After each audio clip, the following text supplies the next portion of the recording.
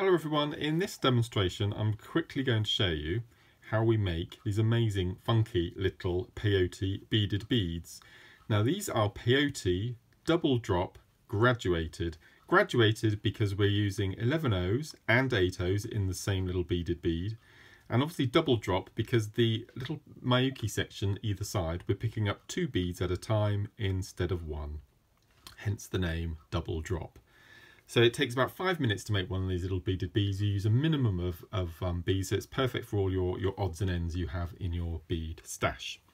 So what you're going to need to start are two sizes of beads, and as I just mentioned, I've gone for an 11O Miyuki seed bead and an 8O Delica. There's nothing stopping you using the same type of bead, i.e. seed beads or Delicas, but I like the mixture of the two because it adds a little bit of texture running through the centre. I've got a size 10 needle, a piece of thread about 45 to 50 centimetres long, and at the end I've popped a stopper bead, leaving a tail of about 4 inches. Okay, you'll use this to tie off at the end, so you will need a stopper bead with a tail. So the first thing we need to do is we need to add the following combination onto our piece of thread. I'm picking up one, two, three, four of my 11 O's, two of my 8O Delicas and 4 of my 11 O's. So that's 10 beads altogether, 8 either side with the two Delicas running down the centre. Okay, so we're calling it double drop, but we're only going to be double dropping the 11 O's, not the Delicas in the centre. So I'm going to slide that down so it meets the stopper bead like so. I'm going to turn it away from me so I have the stopper bead pointing away. And because this is double drop, as I've just mentioned, instead of picking up one bead at a time, I'm picking up two. So I've got two of my little 11 O's. I'm coming out to the bottom 11, so I'm going to go back towards that stopper bead, missing the first two 11 O's and sewing through the next two. So then when I pull the thread, okay, the beads will sit next to each other like a little square.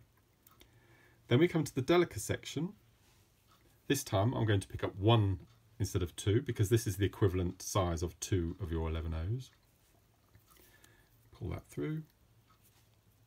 So that will sit again nice and neatly alongside.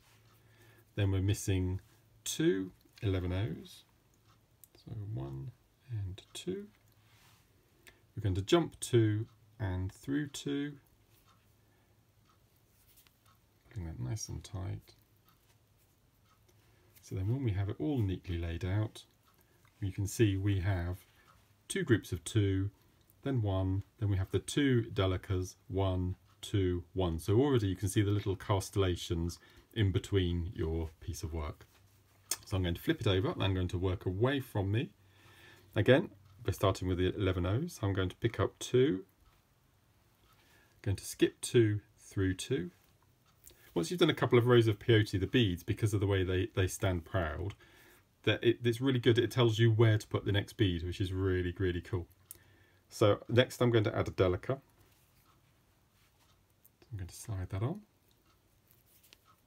Pull that through and it'll sit. You can already see the band starting to fall down the centre. Then already we've got a gap here, which so we know that we're going to fill that with two 11 O's. So one and two and we're going to sew up through, I'm going to pull that through. So that's your fourth row. And you can keep count by the number of rows because of the number of delicas that you've got. So we've got four delicas in the centre there, so we know that we're on row four. Now for this, you will need to do 10 rows. Okay, so I'll quickly do one more. So I'm picking up two 11s, going to sew up through two,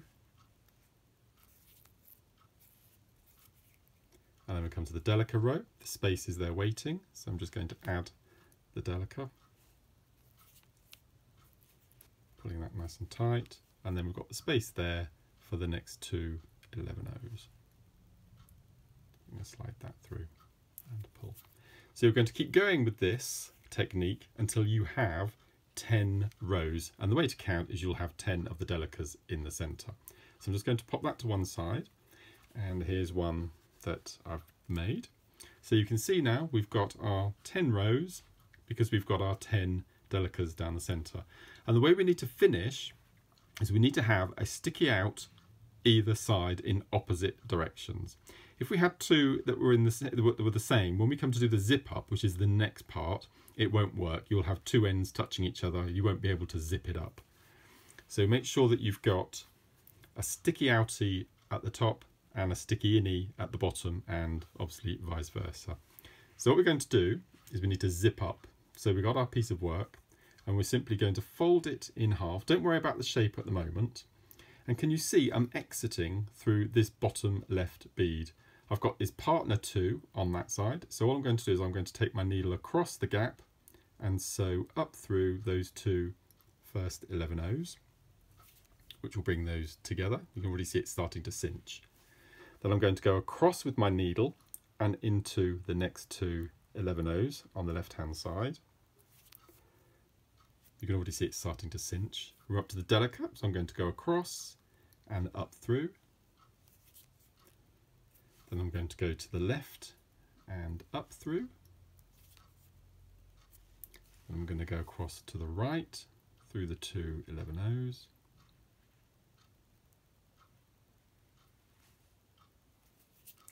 And then finally, I'm going to go to the left and I'm going to sew up through the last two 11s on the left hand side. Okay, so keep that needle on, but what we're going to do is we're going to do a seed bead squidge. So I'm just going to manipulate that little beaded bead in my fingers, and then I'm going to slide off the stopper bead, and then with the two ends, I'm going to tie a single knot, which will cinch the zip together.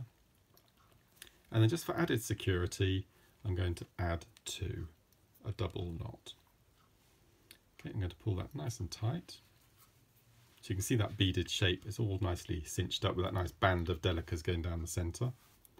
And then with my needle and thread, I'm going to get away from the knot before I cut it. So all I'm going to do is I'm going to sew down the first two. Then I'm going to sew up through the second two.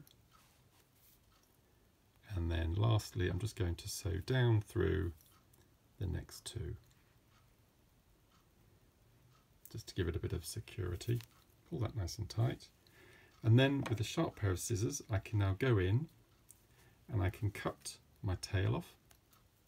And I can also cut the long tail, the working.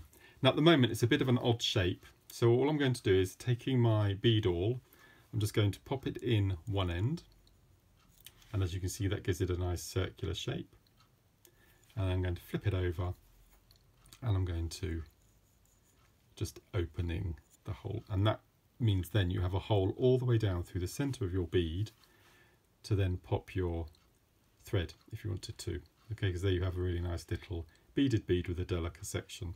So I've got a piece of jewelry here that I've made using these beaded beads with a strand of phosphosiderite so as you can see I've used the I've used the gemstone alongside the seed beads which I like to do quite often. And all I've done just to separate them is I've used little delicas in between just to just to give it a bit of space in between the beaded beads. And then I've finished it off with a nice rose gold sterling silver clasp a little toggle clasp on the end there just to finish it off. So that's your double drop graduated peyote beaded beads. I hope you enjoy. Bye bye